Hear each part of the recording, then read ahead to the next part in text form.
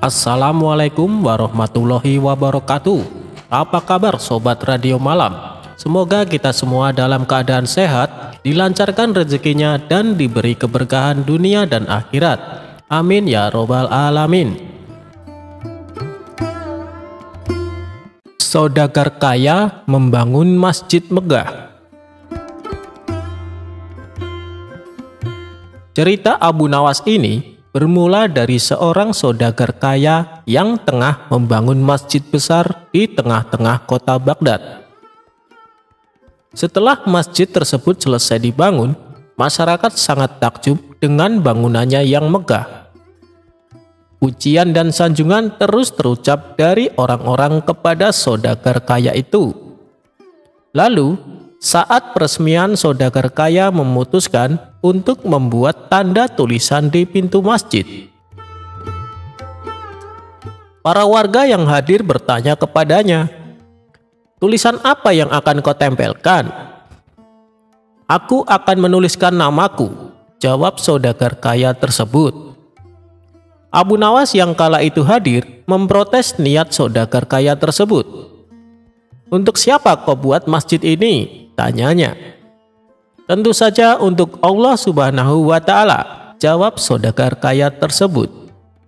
Jika kau buat untuk Allah Subhanahu wa Ta'ala, maka jangan kau tulis namamu di pintu masjid, balas Abu Nawas.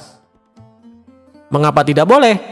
Orang-orang harus tahu siapa yang membangun masjid ini, kata saudagar kaya mulai emosi. Jika demikian, pakailah namaku, ujar Abu Nawas menantang. Tentu saja permintaan Abu Nawas ditolak mentah-mentah. Aku tidak mau, enak saja, aku yang membangunnya, protes saudagar kaya itu. Jika kau membangun masjid untuk ketenaran diri, maka kau telah kehilangan pahalamu, tutur Abu Nawas. Saudagar kaya itu pun terdiam dan mulai tersadar akan perbuatannya tadi. Lalu ia berkata kepada warga, Apa pun yang dikatakan Abu Nawas, tulislah. Saat pintu masjid akan ditulis dengan nama Abu Nawas, dirinya langsung mencegah. Jangan tulis namaku, tulislah ayat Al-Quran di pintu masjid, perintah Abu Nawas. Akhirnya, para warga pun mengikuti saran Abu Nawas.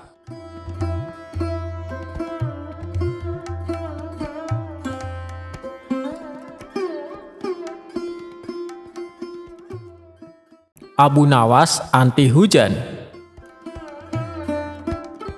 Sejak peristiwa penghancuran barang-barang di istana oleh Abu Nawas yang disaksikan oleh Baginda Raja, saat itu pula Baginda Raja sangat kesal dan ingin segera untuk menangkap si tersangka yaitu Abu Nawas agar dijebloskan ke dalam penjara karena ulah dari tingkah lakunya sudah menjadi hukum bagi siapa saja yang tidak sanggup melaksanakan titah baginda raja, apalagi sampai membangkang kepada sang raja, maka tak disangsikan lagi bahwa ia akan mendapatkan hukuman.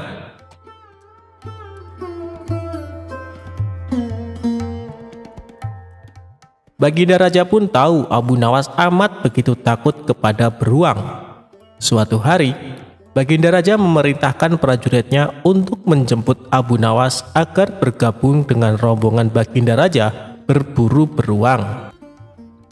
Abu Nawas merasa takut dan gemetar, tetapi ia tidak berani menolak perintah dari Baginda Raja tersebut. Dalam perjalanan menuju ke hutan, tiba-tiba cuaca yang cerah berubah menjadi mendung beraroma kegelapan. Seketika Baginda Raja langsung memanggil Abu Nawas. Dengan penuh tazim dan rasa hormat, Abu Nawas pun mendekati Baginda Raja.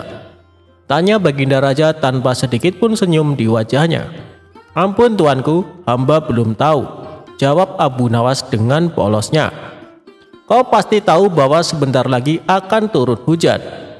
Hutan masih jauh dari sini. Kau beri kuda yang lamban. Sedang aku dan pengawal-pengawalku akan menunggangi kuda yang cepat. Nanti pada waktu makan siang kita berkumpul di tempat peristirahatanku. Bila hujan turun, kita harus menghindarinya dengan cara kita masing-masing agar pakaian kita tetap kering. Sekarang mari kita berpencar. Baginda Raja menjelaskan. Kemudian Baginda Raja dan rombongan mulai bergerak dan berpencar. Abu Nawas kini tahu Baginda Raja akan menjebaknya. Lalu ia harus mencari akal, ia pun memutar otak cerdiknya. Dan ketika Abu Nawas sedang berpikir, tiba-tiba hujan pun turun. Begitu hujan turun, Baginda Raja beserta rombongannya segera memacu kuda mereka masing-masing untuk mencapai tempat perlindungan yang terdekat.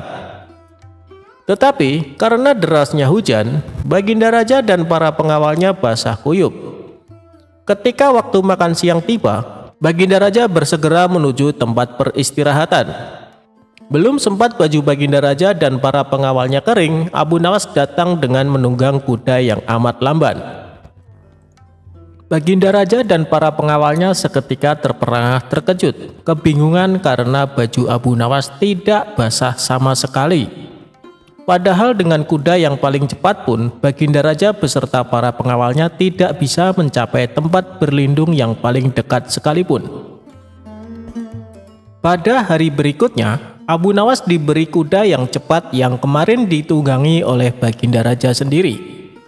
Ini Baginda Raja dan para pengawal-pengawalnya menunggangi kuda-kuda yang lamban. Setelah Abu Nawas dan rombongan kerajaan berpencar, hujan pun turun seperti kemarin. Ini hujan lebih deras daripada hari kemarin. Baginda Raja dan para pengawalnya lagi-lagi basah kuyup karena kuda yang mereka tunggangi tidak bisa berlari dengan kencang. Pada waktu makan siang tiba, Abu Nawas pun tiba di tempat peristirahatan lebih dahulu daripada Baginda Raja beserta rombongannya. Kemudian Abu Nawas menunggu Baginda Raja.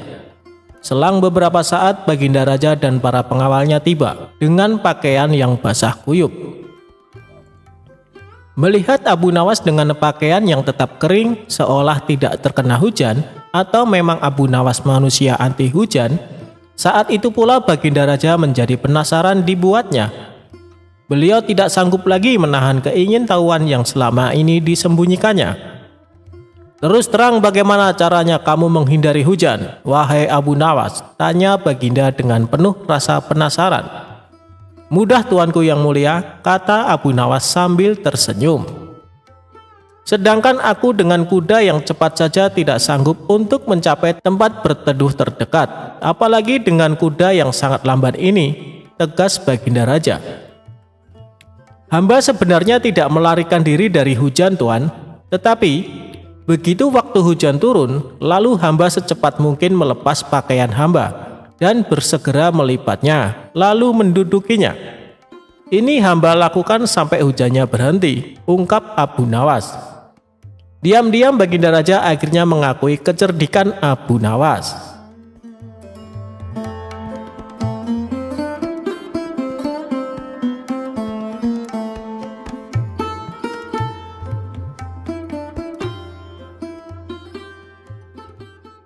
Abu Nawas menjadi pengacara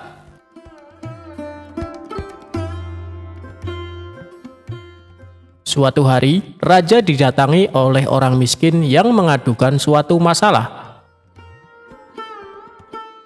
Apa masalahmu, Tuan? Cobalah ceritakan padaku, kata sang raja.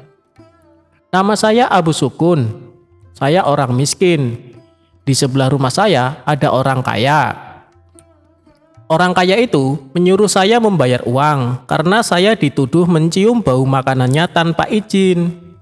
Bagaimana saya bisa menghindari bau makanannya, sementara rumahnya bersebelahan dengan rumah saya, tuanku?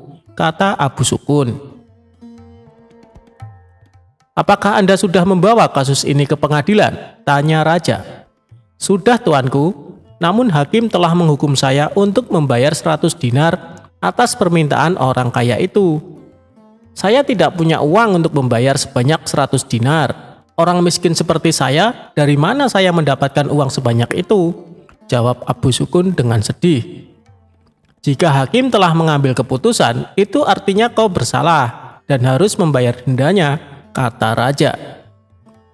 Tiba-tiba Abu Nawas berbisik kepada raja. Raja mengangguk tanda setuju dengan Abu Nawas. Besok saya akan pergi ke pengadilan untuk meminta masalah ini untuk dibicarakan lagi supaya mendapat keadilan, kata raja.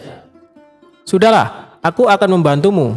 Baginda ingin masalah ini diselidiki dan diadili dengan baik, kata Abu Nawas kepada Abu Sukun. Tengah malam, Abu Nawas meminta raja untuk pergi ke rumah hakim. Tiba-tiba mereka mendengar percakapan di rumah hakim. Dengan cepat, Abu Nawas dan Raja bersembunyi sambil mendengarkan percakapan dari dalam rumah hakim. Saya mendengar Raja ingin kasus saya dibawa ke pengadilan lagi. Ini uang 100 dinar saya berikan kepada Anda, agar kasus ini saya menangkan, kata si kaya. Raja pun terkejut dan marah. Besok kita harus pergi ke pengadilan, dan tuanku harus menjadi saksi atas perbuatan mereka kata Abu Nawas. Keesokan harinya di pengadilan. Hakim, Abu Sukun telah mencium bau makanan dari rumah saya tanpa izin. Sebagai bukti, Abu Sukun semakin gemuk sementara saya semakin kurus. Itu tidak adil dan saya meminta Abu Sukun untuk membayar 100 dinar untuk bau makanan yang sudah dicium Abu Sukun, kata orang kaya. Di pengadilan, Abu Nawas adalah pengacara Abu Sukun. Abu Nawas berkata, Hakim, tidak adil jika Abu Sukun dihukum hanya karena mencium baunya saja. Sedangkan orang kaya ini yang memakan makanan dan merasa kenyang. Agar adil, saya usulkan agar orang kaya ini dibayar dengan mendengarkan suara 100 keping dinar, kata Abu Nawas tegas. Sementara uang 100 dinarnya harus diberikan kepada Abu Sukun karena sudah difitnah. Dan hakim sendiri akan dihukum oleh raja karena memakan 100 dinar uang suap dari orang kaya, kata Abu Nawas. Hakim kaget dan sangat malu ketika tindakannya juga terungkap. Benar Hakim, aku telah melihat dan mendengar dengan jelas tentang penipuanmu tadi malam, kata sang raja.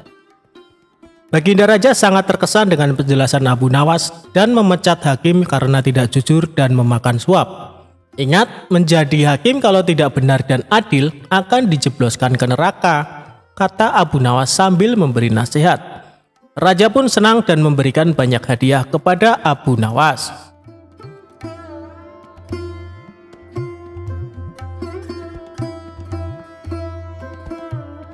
Pada suatu hari, Abu Nawas dengan santai menyisir jalanan kota. Ia mendapat perintah dari baginda raja untuk memantau keadaan rakyatnya. Tiba-tiba, langkahnya terhenti tepat di depan lapangan yang tengah penuh dengan kerumunan warga. Abu Nawas penasaran dengan apa yang terjadi di sana. Ternyata di lapangan itu tengah ada pertunjukan monyet ajaib Monyet ajaib ini dapat memahami bahasa manusia dan hanya patuh kepada perintah tuannya saja.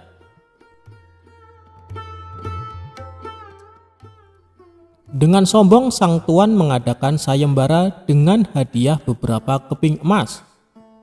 Barang siapa yang mampu membuat monyet miliknya mengangguk-angguk, maka ia berhak mendapatkan hadiahnya. Banyak warga yang telah mencoba dengan berbagai macam cara, tapi si monyet tak juga berhasil ditaklukkan. Hal ini semakin membuat Abu Nawas penasaran. Akhirnya Abu Nawas maju ke depan untuk mencobanya. Abu Nawas memberikan beberapa pertanyaan kepada si monyet. Hai monyet, tahukah engkau siapa aku? Monyet pun menggelengkan kepala. Apakah engkau takut pada tuanmu? Pancing Abu Nawas. Si monyet pun tetap diam dan tidak menganggukkan kepala. Oh, ternyata kamu tidak takut ya pada tuanmu, sahut Abu Nawas. Kemudian Abu Nawas mengancam si monyet. Hai monyet, apabila kau tetap diam, maka aku akan melaporkanmu kepada tuanmu. Kalau kamu tidak takut padanya, dan pasti dia akan memberikan hukuman. Si monyet pun mulai ragu dan akhirnya dengan spontan si monyet mengangguk-anggukkan kepalanya karena takut pada tuannya. Penonton bersorak girang karena Abu Nawas berhasil membuat si monyet menganggukkan kepalanya. Si pemilik monyet sangat marah dan memukuli monyetnya dengan kayu karena merasa malu.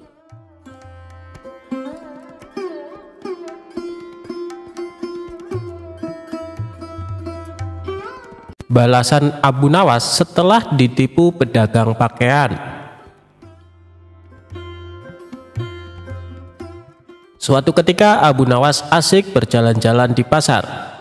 Ia melihat pemuda sedang berjualan baju di pinggir jalan. Baju bagus dan istimewa, teriak pemuda tersebut. Di sebelah dagangan si pemuda tertulis kalimat dijamin tidak luntur. Karena tertarik Abu Nawas pun mendekatinya. Silakan tuan, tuan mau beli baju? Tanya si pemuda. Aku mau lihat-lihat dulu. Kalau ada yang cocok, baru aku beli, jawab Abu Nawas. Silakan tuan, silakan dipilih, balas si pemuda. Setelah Abu Nawas menemukan baju yang cocok, ia berkata, Ini bajunya bagus, warnanya juga bagus. Tapi apa benar dijamin tidak luntur? Tanya Abu Nawas. Iya tuan. Baiklah, berapa harganya? Tanya Abu Nawas. Harganya 100 dirham tuan, jawab si pemuda. Mahal sekali, umumnya harga baju hanya 10 dirham, kata Abu Nawas. Tidak boleh tuan, sudah harga pas, ucap si pemuda.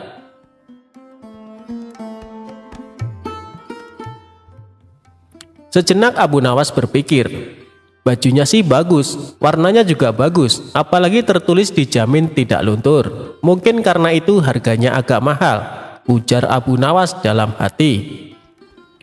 Baiklah, aku beli baju ini seharga 100 dirham, ucap Abu Nawas. Terima kasih tuan, semoga tuan puas belajar di tempat saya, ucap si pemuda. Singkat cerita, Abu Nawas pun pulang membawa baju barunya. Namun di perjalanan baju barunya terjatuh dan kotor. Abu Nawas mencuci baju baru tersebut dengan direndam air. Dan warna baju yang tadinya bagus mendadak memudar dan luntur. Aku telah ditipu, katanya dijamin tidak luntur, gerutu Abu Nawas. Merasa kesal karena ditipu, Abu Nawas langsung menemui pemuda tersebut di pasar. Hei pemuda, ternyata kau penipu, hardik Abu Nawas. Memangnya saya menipu apa tuan? Kata pemuda itu berkilah. Kamu bilang dijamin tidak luntur, tapi baru direndam ternyata luntur, tutur Abu Nawas. Saya tidak bilang dijamin tidak luntur, Anda sendiri yang mengatakan begitu, kata penjual tersebut. Tapi saya mengatakan itu karena saya membaca tulisan yang ada di samping baju-baju jualanmu itu, protes Abu Nawas. Oh, kalau itu berarti Anda salah baca, Tuan. Anda membaca dari kiri ke kanan. Kalau kita kan orang Arab, Tuan, bacanya dari kanan ke kiri, luntur tidak dijamin, kata si pemuda menjelaskan. Abu Nawas tak menyangkal perkataan si pemuda. Ia kembali ke rumah dengan perasaan dongkol akan kubalas kau nanti, gerutu Abu Nawas.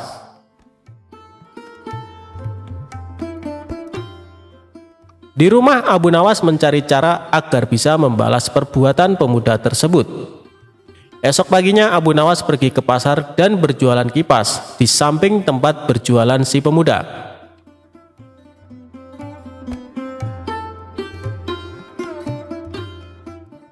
Kipas-kipas silahkan dipilih, Kipas bagus dan awet sampai 100 tahun, teriak Abu Nawas. Berhubung saat itu cuaca lagi panas, pemuda itu mendekati Abu Nawas. Berapa harga kipasnya tuan? Tanya si pemuda. Oh murah sekali, hanya 100 dirham, jawab Abu Nawas. Apa 100 dirham Anda bilang murah? Di mana-mana harga kipas cuma satu dirham tuan, balas si pemuda. Ini kan bukan kipas biasa pemuda, kipas ini tidak akan rusak sampai 100 tahun, kata Abu Nawas. Sejenak pemuda itu terdiam. Kalau sampai bertahan selama 100 tahun, tidak ada salahnya harga mahal, pikir si pemuda tersebut. Baiklah tuan, saya beli satu, kata pemuda itu. Setelah transaksi selesai, Abu Nawas buru-buru pulang dengan membawa uang 100 dirham uang penjualan kipasnya. Sementara si pemuda yang kepanasan segera menggunakan kipasnya, dan baru beberapa menit kipasnya mendadak rusak. Dasar, aku ditipu, ujar si pemuda geram. Ia pun pergi ke rumah Abu Nawas untuk meminta ganti rugi. Hei tuan, anda ternyata penipu. Katanya kipas ini kuat sampai 100 tahun. Ini dipakai beberapa menit sudah rusak, kata si pemuda. Kamu pasti salah cara pakainya, kata Abu Nawas. Salah bagaimana tuan? Tanya si pemuda.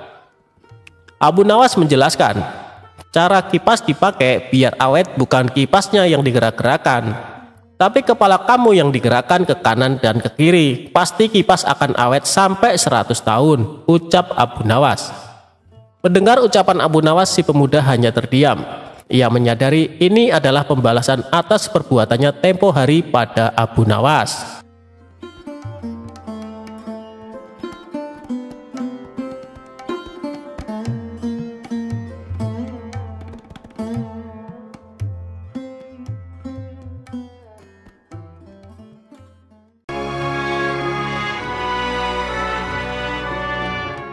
Jin raksasa jahat dibuat minta ampun ketakutan. Diawali dari beredar kabar ada jin raksasa jahat yang menghuni gua angker di sebuah perbukitan kecil yang jauh dari permukiman warga. Konon jin raksasa jahat itu sangatlah jahat.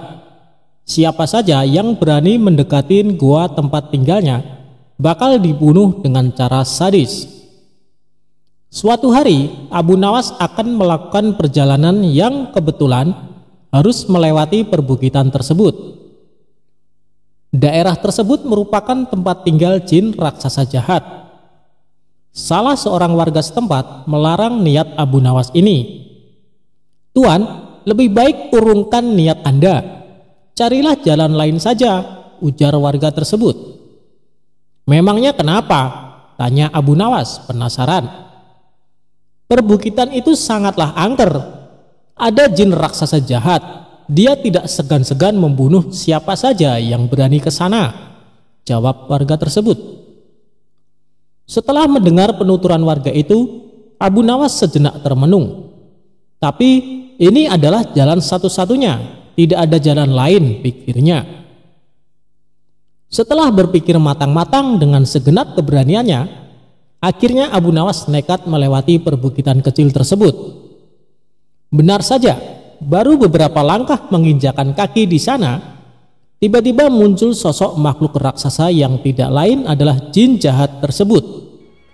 Hei manusia, lancang sekali kau kemari. Kamu mau cari mati, bentak jin raksasa jahat. Tidak, aku hanya numpang lewat, karena ini adalah jalan satu-satunya Jawab Abu Nawas. Kamu tahu ini adalah daerah kekuasaanku. Siapa pun dilarang lewat sini, kata jin raksasa jahat memberitahu. Bukannya ini adalah bumi Allah. Kamu tidak ada hak melarangku, balas Abu Nawas. Oh, jadi kamu menantangku. Akan aku hancurkan tubuhmu, ancam jin raksasa jahat. Baik, silahkan mencobanya. Tetapi aku bisa mengalahkanmu.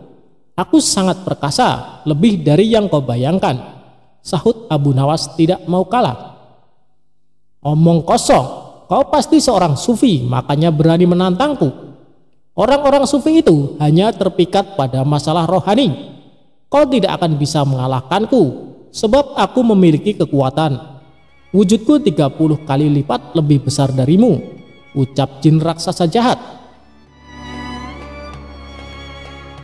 Wujudmu memang lebih besar dariku, tapi itu tidak menjamin kau lebih perkasa. Kalau kau menginginkan uji kekuatan, ambil batu ini dan peraslah air darinya. Balas Abu Nawas. Abu Nawas lalu memungut sebutir batu kecil dan diberikan kepada jin raksasa jahat. Seketika batu kecil hancur lebur dalam genggamannya. Akan tetapi tidak setetes pun air yang keluar.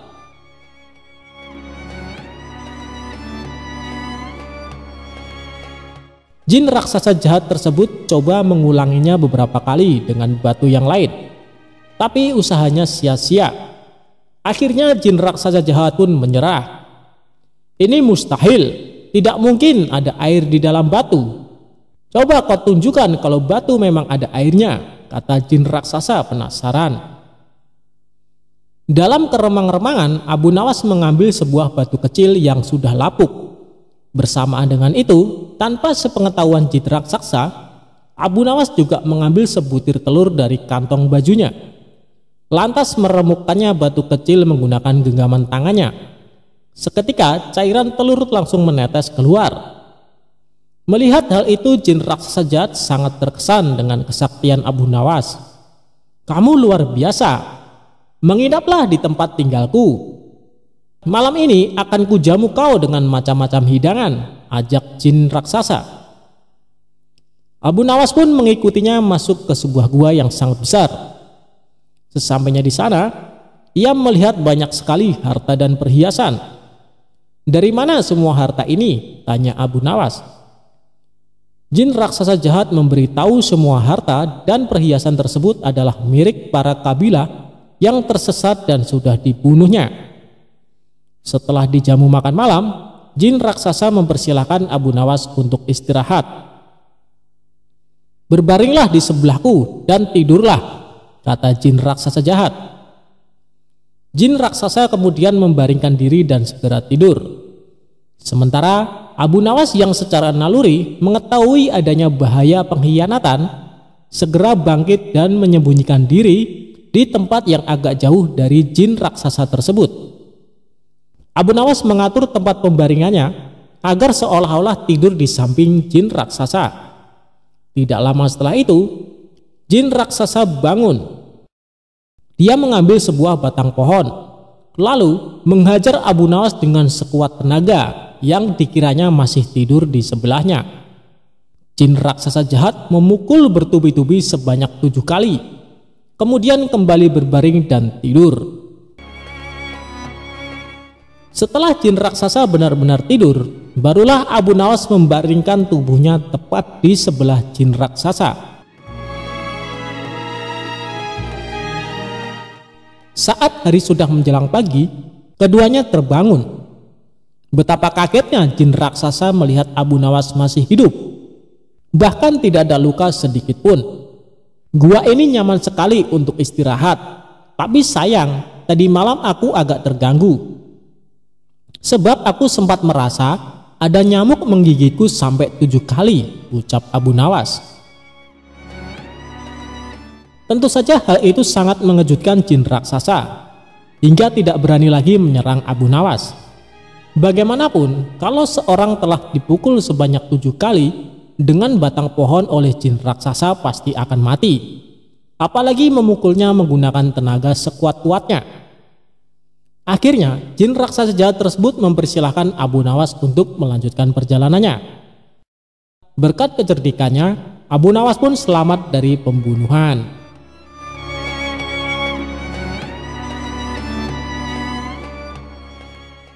Abu Nawas menyuruh raja mencari telur unta. Humor Abu Nawas kali ini bermula dari baginda raja merasakan sakit di seluruh tubuh Buat berjalan saja terasa sangat berat, sampai akhirnya dia memanggil tabib istana untuk mengobatinya. Tapi ternyata hasilnya nihil. Lantaran tabib istana sampai ahli kesehatan sepenjuru negeri tidak bisa mengobati, akhirnya baginda raja membuat sayembara untuk para tabib agar bisa menyembuhkan penyakitnya. Barang siapa yang bisa mengobati penyakitnya akan diberi hadiah uang emas yang banyak. Sayembara tersebut pun menyebar. Banyak para tabib yang akhirnya ambil bagian mengadu nasib untuk mengobati baginda raja. Abu Nawas yang mendengar sayembara itu pun tertarik untuk mencobanya. Padahal ia sama sekali tidak mempunyai kemampuan mengobati penyakit. Hari yang ditunggu pun tiba. Abu Nawas menghadap raja untuk mencoba mengobatinya. Hei Abu Nawas, rupanya engkau ikut pula dalam sayembara yang kuadakan ini, kata raja. Benar baginda raja, jawab Abu Nawas. Apa kau bisa mengobati penyakitku ini? Tanya baginda raja. Hamba akan mencobanya baginda. Hamba akan mencoba menerapkan cara-cara yang belum pernah dilakukan tabib lainnya, ucap Abu Nawas meyakinkan. Ia kemudian meminta baginda raja untuk menerangkan penyakit apa yang diderita agar bisa memberikan tindak lanjut. Baginda raja pun menerangkan jika tubuhnya terasa nyeri, tangan dan kakinya terasa pegal-pegal. Setelah memeriksa, Abu Nawas tidak langsung mengobati. Ia meminta waktu dua hari kepada Baginda Raja untuk meramu resep obat terbaik. Di bawah pohon yang rindang, ia terus berpikir resep untuk sang raja. Maklum saja Abu Nawas bukan tabib, sehingga bingung harus memberikan resep apa. Sambil duduk dan berpikir dari kejauhan dia melihat seorang kakek tua yang masih sibuk sendirian memetik buah-buahan di kebun kurma. Abu Nawas yang heran langsung mendekati kakek tersebut. Setelah bercakap-cakap dengan sang kakek, Abu Nawas mendapat jawaban jika kakek itu menjadikan aktivitas memetik buah sebagai kesibukannya. Jika tidak ada kesibukan, si kakek malah merasa badannya pegal-pegal dari pertemuan itu Abu Nawas menemukan penyebab sakit Baginda Raja.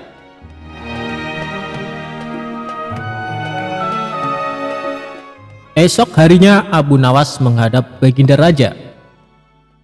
Hei Abu Nawas, belum dua hari kau sudah menghadapku.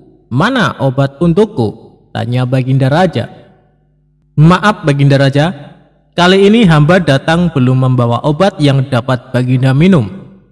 Sebab obat yang bisa menyembuhkan Baginda Raja hanya telur onta. Baginda Raja harus cari telur itu sendiri, karena jika tidak dicari sendiri, maka khasiatnya akan hilang, terang Abu Nawas. Kalau itu yang kau sarankan, baiklah, aku akan segera mencarinya, jawab Baginda Raja. Dengan sekuat tenaga Baginda Raja mencoba mencari telur unta di pasar, Para pedagang pun terheran. Bukankah unta itu beranak, bukan bertelur? Tapi mereka tidak berani mengatakan hal itu, sebab yang mencari baginda raja. Setelah berkeliling kota dan tidak menemukan satupun penjual telur unta, Baginda Raja bertemu seorang nenek yang menjelaskan jika unta tidak bertelur tapi beranak. Raja lantas sadar jika ia baru dibohongi oleh Abu Nawas. Sesampainya di istana, Baginda Raja merasa kelelahan setelah perjuangan panjang mencari telur unta dengan berjalan. Ia akhirnya tertidur pulas karena capek yang diderita. Keesokan paginya Baginda Raja tampak segar bugar dan anehnya sakit yang dideritanya pun hilang. Ia lalu menyuruh para pengawal untuk meminta Abu Nawas menghadapnya. Tidak lama kemudian Abu Nawas datang Bagaimana Baginda Raja? Apakah telah menemukan telur unta yang hamba anjurkan? Tanya Abu Nawas setelah memberikan salam kedatangan. Rupanya engkau telah mempermainkanku ya, ucap Baginda Raja dengan nada marah. Apa yang Baginda maksud? ujar Abu Nawas. Engkau menyuruhku mencari telur unta, padahal unta tidak bertelur tetapi beranak, terang Baginda Raja. Abu Nawas kemudian menceritakan pertemuannya dengan seorang kakek sampai memperoleh hikmah jika anggota badan yang tidak pernah digerakkan akan membuat orang sakit. Pengalaman itulah yang ingin diterapkan Abu Nawas kepada Baginda Raja supaya tidak hanya memerintah tetapi juga bergerak. Tentu saja Baginda tidak akan menemukan telur unta sebab tidak akan mungkin ada unta yang bertelur. Tapi bukankah Baginda sekarang sudah merasa lebih enakan? Tanya Abu Nawas setelah memberikan penjelasan. Benar, apa yang kau katakan itu benar Abu Nawas. Jawab Baginda Raja yang tidak lagi marah mendengar jawaban Abu Nawas. Bahkan, aku semalam dapat tidur dengan pulas sekali, lanjutnya. Kalau begitu betul jika ada pepatah yang mengatakan, tidak ada kelezatan kecuali setelah kepayahan, sahut Abu Nawas. Mendengar hal itu, Baginda Raja pun tertawa dan geleng-geleng kepala atas kecerdikan Abu Nawas.